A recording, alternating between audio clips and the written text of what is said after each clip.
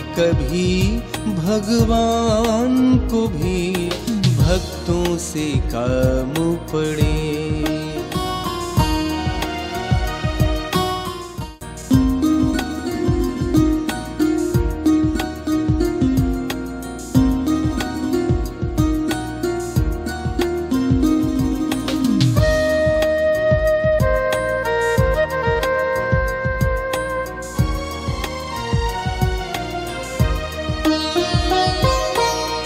ोड प्रभुवन को धाये।